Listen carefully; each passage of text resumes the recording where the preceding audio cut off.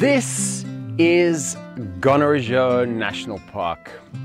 How's it guys, I'm Gus, the African plant hunter. This is part one in my Into the Wild Zimbabwe series on Gonarezhou. Gonarezhou at 5,000 square kilometers is the second largest park in Zimbabwe. Situated in the southeast, it's part of a transfrontier conservation project between Zimbabwe, Mozambique and South Africa. It's probably best known, the name Gonarezhou meaning place of the elephants, probably best known for its elephant population. This park has over two elephants per square kilometer, so you are absolutely guaranteed if you visit to see at least one elephant. The park is divided into two sections. There's a northern section accessible from Chipinda Pools or from the Mahenye communal land, which is based around the Runde River and then the Save River. The Save Runde confluence in the northeast corner of the park is actually the lowest point in Zimbabwe at 160 meters above sea level.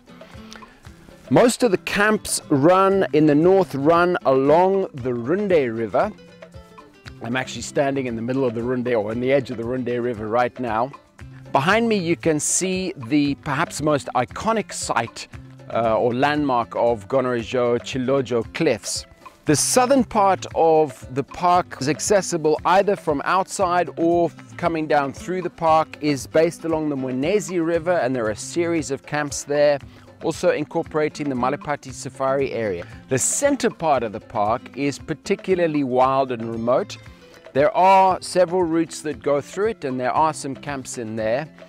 If you really want to get away from it all, if you go to the center of park, you're pretty much guaranteed not to see anybody else. In terms of attractions, uh, obviously most people do come here primarily for the wildlife, the landscapes, the sense of isolation and remoteness.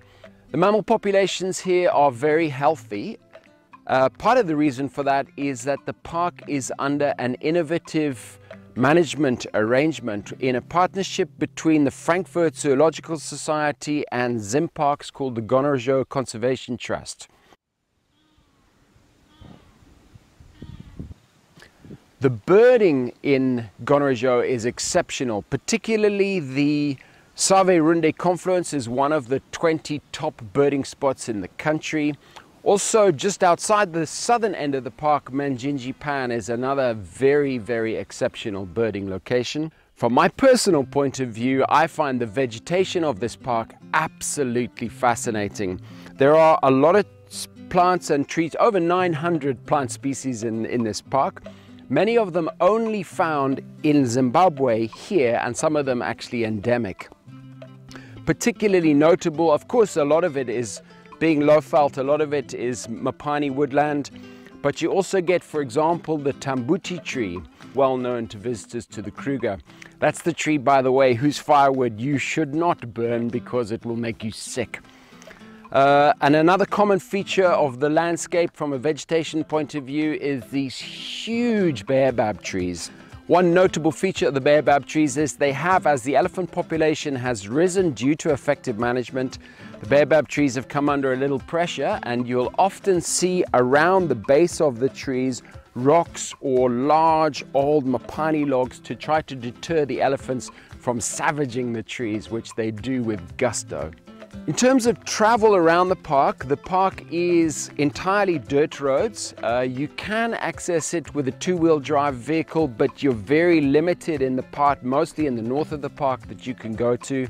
So really, if you want to travel in this park, ideally come in a 4x4. If you're going to take any of the off-road trails or, or uh, the more remote trails through the park, best you travel with two vehicles in terms of accommodation, there's a full range of accommodation options in the park. There are, uh, at the top end, there are three camps called Manangas, which are uh, fully equipped with crockery, cutlery, bedding, etc. And all you need to bring is yourselves and some food. Uh, there are also some developed campsites in both the north and the south where there are ablutions blocks with hot showers, running water.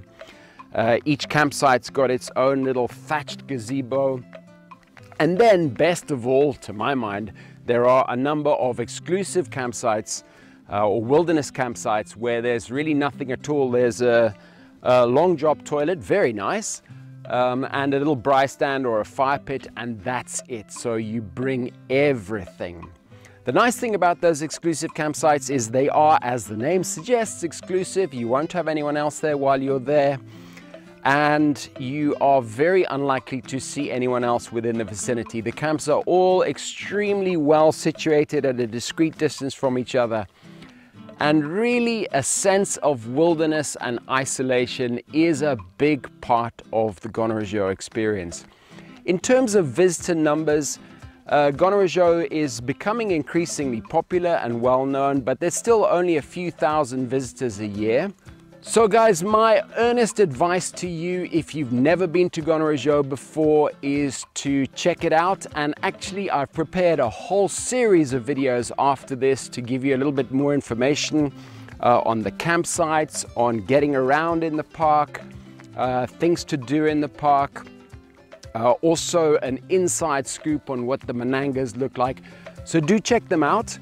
Uh, and make sure you get to this park. It's going to become more and more popular, justifiably. It is a phenomenal, phenomenal wildlife reserve and it's guaranteed that the numbers here will grow. Although I have to say that the park authorities are managing visitors very effectively so no matter how many people there are here at any one time, you're unlikely to be bumping into too many of them. All right, guys, thanks a lot. Thanks for watching.